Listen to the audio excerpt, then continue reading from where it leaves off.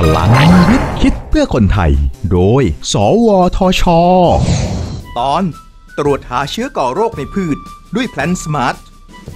ประเทศไทยเป็นประเทศเกษตรกรรม ที่มีการส่งออกเมล็ดพันธุ์และผลิตผลทางการเกษตรเป็นจำนวนมากนะครับ การตรวจสอบเชื้อก่อโรคต่างๆ ที่อาจปะปนอยู่ในเมล็ดพันธุ์ จึงต้องเข้มงวดและมีมาตรฐาน ซึ่งค่าใช้จ่ายในส่วนนี้ ถือเป็นต้นทุนการผลิตที่สำคัญสำหรับผู้ประกอบการเลยค่ะ นักวิจัย สวทช ได้พัฒนาชุดตรวจหาเชื้อก่อโรคในพืช PlantSMART ที่สามารถตรวจตัวอย่างพืชได้พร้อมกันถึง 96 ตัวอย่าง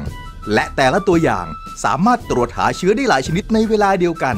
เช่น เชื้อแบคทีเรีย Acidovorax avenae subspecies citrulli เชื้อไวรัส Chilli veinal mottle virus เชื้อไวรัส Watermelon silver mottle virus ซึ่งชุดตรวจนี้พัฒนาขึ้นโดยใช้เทคนิค microarray ทำให้สามารถลดต้นทุนการผลิต โดยการลดปริมาณการใช้สารที่จับกับเชื้อลง ด้วยความสามารถในการตรวจหาเชื้อก่อโรคในตัวอย่างได้เป็นจำนวนมากอย่างแม่นยำและรวดเร็ว ชุดตรวจนี้จึงเหมาะกับภาคอุตสาหกรรมผลิตเมล็ดพันธุ์ เช่นเมล็ดพันธุ์แตงโม แตงกวา เป็นต้น ปัจจุบันชุดตรวจ PlantSMART อยู่ในระหว่างการทดสอบ และประเมินผลร่วมกับบริษัทผลิตเมล็ดพันธุ์ ก่อนที่จะมีการผลิตและนำไปใช้ในเชิงพาณิชย์ต่อไป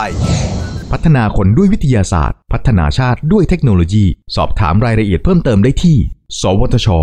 02 564 8000